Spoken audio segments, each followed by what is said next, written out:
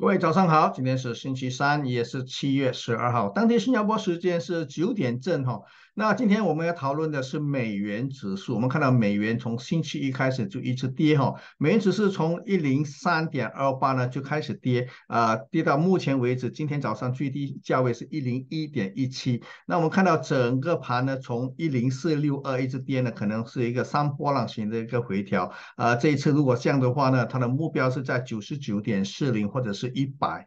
点一五哈，那整个盘呢？因为主要是为什么会跌呢？因为从星期一开始呢，啊，美联储的一些官员就陆陆续续呢就开始暗示说，可能呢，美联储的这个呃十五个月的利息的升息呢，可能将近要到个尾声哦。当然，我们知道这个月份呢，在二十五、二十六号呢，他们在开会啊，大家都已经心里有数，他们可能会调高利息百分之零点二五和或者是二十五个基点。可是呢，这个不影响，因为就是长期。来看啊，应该是短期里面啊，那个美元买潮的应该是慢慢慢慢的消失了哈，所以导致呢美元只是状一直往后退。那今天我们有那个呃那个消费者指数的一个报告，所以呢这个可能会有一点点波动的。可是呢整个盘呢应该是呃看到美元可能在继续的下滑。